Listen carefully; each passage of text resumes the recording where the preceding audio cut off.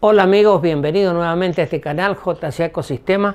Hoy día vamos a ver un efecto termoeléctrico, que a través del calor vamos a producir electricidad. Es muy interesante ver esto porque nosotros todos los del grupo de nuestro canal somos inventores y todos los conocimientos que vamos adquiriendo nos va a servir para crear algunas cosas propias.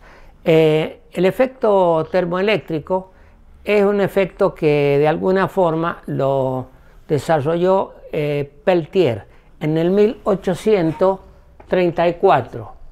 El señor Peltier se dio cuenta que poniendo dos metales soldados en los extremos, por este caso cobre y hierro, está escrito en latín, em, tenemos un foco caliente y un foco frío. Si nosotros calentamos un extremo del bimetal, que es un cobre hierro, en el otro extremo se produce una corriente de electrones, por lo tanto es una corriente eléctrica. Si ponemos un galvanómetro, un medidor, en este punto, en el punto frío, vamos a obtener una corriente. Quiere decir que teniendo dos metales soldados en un extremo y en el otro, y en uno le ponemos eh, calor, en el otro se produce frío. inversamente, si nosotros ponemos corriente en vez de sacar, se enfría un extremo y se calienta el otro. Eso no sé si lo conocen, pero en el caso de la celda de Peltier, que es esta, esta la pueden conseguir en internet. Esta celda viene preparada para fabricar una mini heladera. Si usted le pone corriente, el positivo acá, esta placa de arriba se enfría y la placa de abajo se calienta.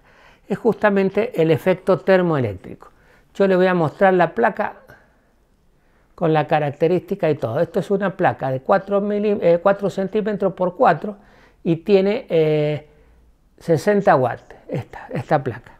Bueno, yo le dije que esta placa es para producir eh, una pequeña heladera, pero yo voy a hacer un experimento, como es reversible, le voy a aplicar calor y voy a obtener energía eléctrica. Va a ser un generador de energía eléctrica en estado sólido. ¿Cómo vamos a hacer? En este momento voy a poner acá un disipador como este. Lo vamos a poner ahí. Vamos a poner dos mecheritos. O uno podría ser, pero vamos a poner dos para que sea más ligero. Dentro de calentando para que se caliente el disipador de abajo. Vamos a calentar una cara de la celda Peltier y la otra Ahí está viendo cómo pongo los mecheros. En este caso voy a poner arriba el disipador, que en realidad lo único que va a hacer es calentarse. Esto todavía está frío. ¿Qué voy a hacer yo? Voy a calentar un extremo de la celda de Peltier y voy a enfriar el otro y vamos a ver si es cierto que produce electricidad. Como le decía, esta es una celda para fabricar una mini heladera que se usa en los automóviles, a veces en las casillas rodantes. Es de 60 vatios. Yo la voy a usar en forma eh, inversa. Voy a calentarla para producir electricidad, en vez de inyectarle electricidad y que se produzca eh, un polo frío acá. Bueno, esto se está calentando y voy a ir armando el sistema pongo acá en la celda le puse un poquito de teflón en los dos extremos del cable porque se me pueden quemar los cables. Es indistinto, el positivo va a salir del lado frío. En este caso le voy a poner un disipador arriba, como eso, me quemé porque la llama está saliendo por un extremo, está demasiado grande. Y ahora vamos a medir el voltaje. A lo mejor todavía no, pero ya debería estar generando algo de voltaje. El positivo, primero voy a, conectar los cables y después les muestro en el, en el tester la salida de voltaje. Todavía no genera nada porque está frío. Vamos a esperar un poco más que se caliente. Bueno, ahí está. Ahí está produciendo un volt. Dos, un volt, a ver. Dos volt. Ya le digo, un extremo, una cara está caliente con el, con el mecherito y la otra cara la estoy enfriando con el disipador. 2 volts y medio, 2 volts 45. Vamos a ver, yo acá tengo un foco. Vamos a ver si lo prende. Este foco no es de 220, ¿eh? no se confundan, es un foco que viene para hacerlo andar con 3 volt, una cosa así. Debería prender. O eh, si no es inmediato, va a prender enseguida, a medida que vaya calentando. Lo voy a conectar acá y lo voy a conectar al otro extremo, al negativo. Bueno, todavía no enciende, lo tengo que apretar, ahí está. Tengo que, dice, mire, a ver, tengo que mantenerlo apretado porque voy a ponerle algo más pesado. Ahí está, mire. Esto que ustedes están viendo es electricidad que sale del sistema de la celda. Lo aprieto, se me mueve porque tiene que tener buen contacto la parte de calor con la parte de abajo y la parte fría. Mire cómo prende. Va a ir aumentando en forma que aumente el voltaje. Bueno, pongamos, este es un foco que no es de 220, es un foco de unos 3 o 4 volts, es de LED. Lo voy a desconectar y voy a hacer andar un ventilador como este. Si no anda, vamos a esperar que llegue a la temperatura máxima. A ver, voy a poner ahora el ventilador que le va a ayudar a enfriar la parte de arriba y tiene que mejorar más todavía. Ah, mire, ahí está funcionando. Ya empezó a funcionar el ventilador. Voy a sacar esto, que es el peso, y voy a tratar de enfriar la zona esta para que rinda más todavía.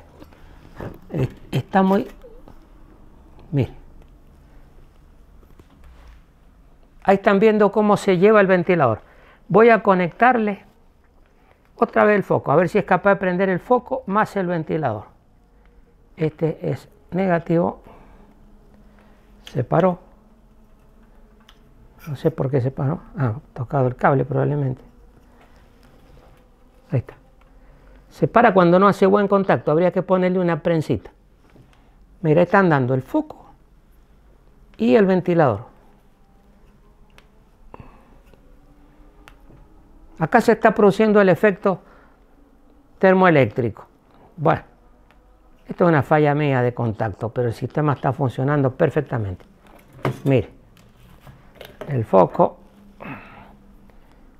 se me mueven los cables acá, está funcionando el foco y el ventiladorcito, que a su vez está enfriando más todavía el foco frío acá. Bueno, Incluso puedo medir la tensión que hay acá. A ver eh, si vamos a ver la tensión. 3,5. 3,5 volt y subiendo porque a medida que sube la temperatura sube el voltaje. Mire cómo se va acelerando el, el ventilador. Este ventilador es muy importante porque estoy usando la energía que produce para enfriar una de las caras y a su vez aumenta la tensión. La, mientras más diferencia haya entre el foco caliente y el foco frío, mayor será la tensión. Ahora vamos a ver si es capaz, no lo he probado esto, pero a ver si es capaz de hacer andar otro ventilador más. Porque en realidad el voltaje no es tanto, pero sí tienen muchos amperes. Vamos a ver, voy a conectar el otro ventilador. Bueno, esto ya sería mucho, un ventilador más grande, pero lo vamos a conectar.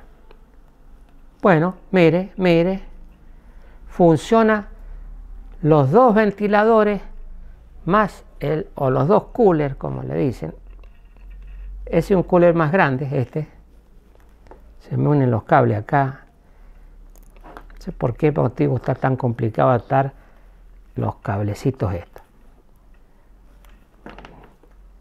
Bueno, ahora está girando con el simple calor acumulado porque los mecheros se han apagado. Bueno amigos, ustedes vieron lo fabuloso que es esto y cómo funcionó. El calor lo transformamos en electricidad. Siempre hay que tomar una fuente de energía. En este caso, calor, que es energía calórica, nos vamos a energía eléctrica. También puede ser calor en energía mecánica, como en el caso del motor de Stirling o un motor de auto, y puede ser también directamente eh, el calor producido en electricidad, usando un par termoeléctrico. En los calefones de gas hay un bulbito que tiene que estar siempre cerca de la llama que tiene este principio. se produce una corriente que activa la válvula y cuando no hay llama se apaga. Esa es una termocupla. Es el mismo efecto que yo estoy haciendo en este caso. Yo acá utilicé la, la celda de Peltier a la inversa. En vez de producir una heladera o calor o frío, estoy produciendo electricidad. Le aplico calor para producir electricidad. En el otro caso, le pongo electricidad para que tener una cara fría y una cara caliente. Amigos, espero que les haya gustado esto y nos vemos en el próximo video.